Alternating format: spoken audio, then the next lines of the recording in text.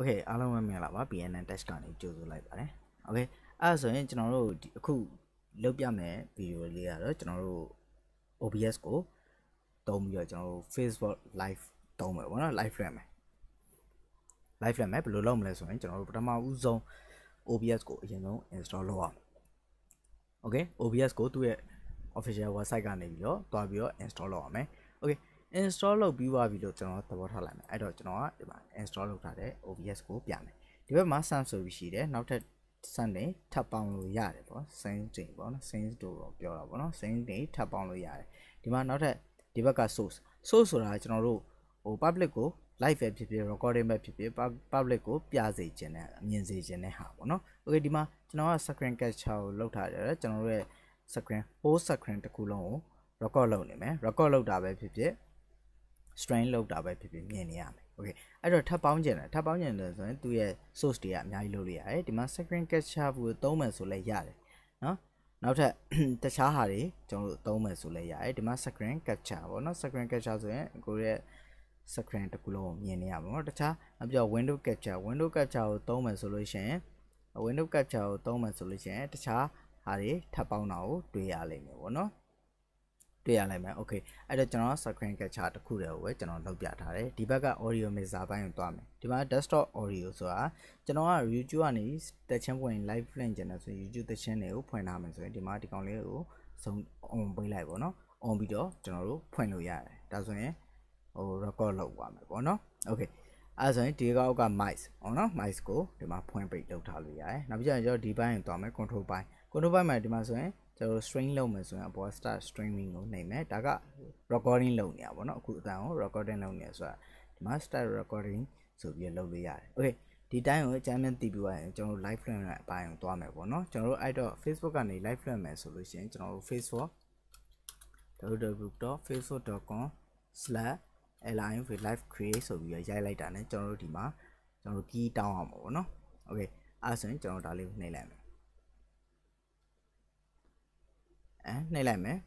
နှိပ်ပြီးရင်ကျွန်တော်တို့ဒီမှာ key streaming key ပေါ့နော်ဒီမှာ streaming key ရှိအဲ့ဒါကောင်ကို copy ကူးမယ် okay copy ကူးရလို့ရှင်ကျွန်တော်တို့ဒီကောင် minimize လုပ်ပြီးရင် setting နဲ့သွားမယ် setting နဲ့သွားပြီး string ကိုနှိပ်မယ်ပြီးရင် facebook live ဆိုတာကိုရွေးမယ်ဒီဘက်ဒီမှာ double click နှိပ် control v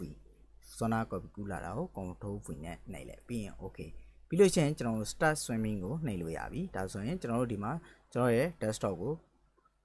ပြထားတယ်ဒီမှာ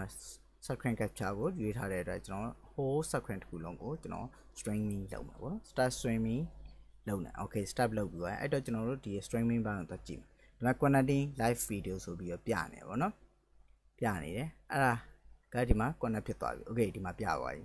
connect ဖြစ်ဒီမှာအတန်ဆိုရင်အတန်ကိုနော်အတန်ကြားနေရတယ် okay အဲ့ဒီမှာဒီဘက်ကိုတစ်ချက်သွားမယ်ဒါဆိုရင် public ဆိုရင် public ကျွန်တော်ကအခုဟိုယာယီစမ်းပြဆိုတော့ only နဲ့ပဲသွားမယ်နောက်ပြီးကြရင်ကျွန်တော်တို့ဒီမှာပြောချင်တဲ့စကားလုံးကိုဒီမှာရိုက်မယ် post ပေါ့နော် post ပြီးရင် go live ဆိုတာ ਨੇ ကျွန်တော်တို့ဒါ live လုပ်ငန်းစဉ်ဟာပြီးသွားပြီ go live ဆိုတာ ਨੇ တခြားလူတွေမြင်ရပြီပေါ့နော် public နဲ့လွှင့်ရင်ဒါဆိုရင်တခြားလူမြင်နေရပြီအဲဒါဆို streaming လုပ်နေပြီပေါ့နော် okay ဒါဆို streaming streaming လုပ်နေပေါ့နော်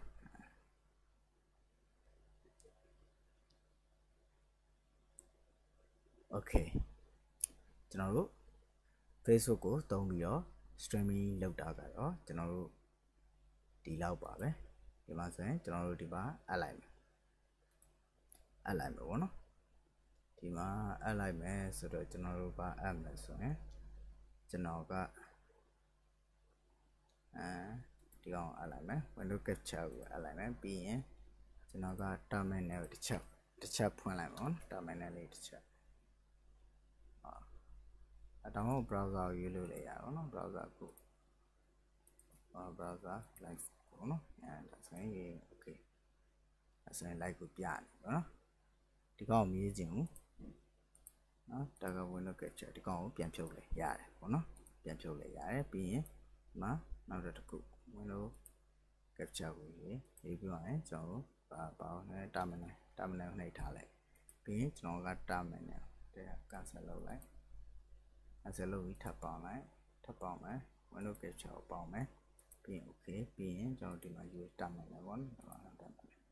အဲဒါဆိုရင်ပြီးရင် okay နဲ့လိုက်အဲဆိုရင် terminal ကပေါ်လာပြီပေါ့နော် okay ဒါဆိုလို့ရှိရင်ကျွန်တော်တို့ streaming လောက်တာကဒီလောက်ပဲပေါ့နော် okay အားလုံးကိုကျေးဇူးတင်ပါတယ်ခင်ဗျ